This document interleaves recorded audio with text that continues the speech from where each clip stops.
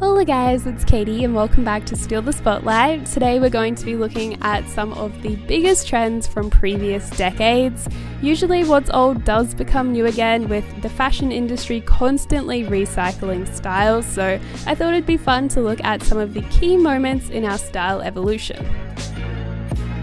Kicking things off in the 1950s, I cannot look past white polka dots when I think of this era, so I was absolutely ecstatic to find this dress just at my local thrift store. I think it totally nails that 50s aesthetic with this particular silhouette. If you wanted to amp it up even more though, you could totally pair a tulle skirt underneath for that fuller effect.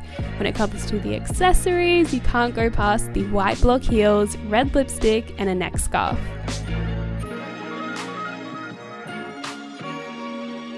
Moving on into the 1960s, and my personal favourite part of fashion in this decade would have to be Twiggy's iconic look. It really took a lot of influence from that mod style, which is what inspired me to recreate this outfit as well. My dress is actually vintage from the 60s, so it did all the hard work for me, and I really tried to play up that theme with these accessories, but I think the dress is actually still really wearable for today's style as well.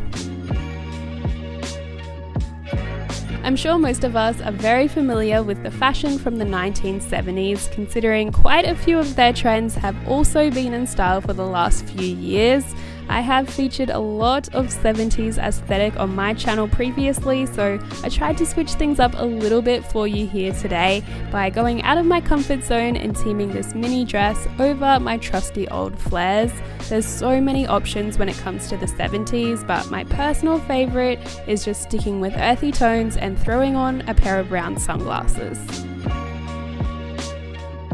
The 1980s have a lot of different trends on offer, whether you're into the aerobics style, bright neon colours, metallics, big shoulder pads, there's a lot on offer, most of all crazy and fun. Obviously, I decided to go for a kind of Madonna inspired ensemble. She wore a lot of lace, leather, and layered up those chain necklaces.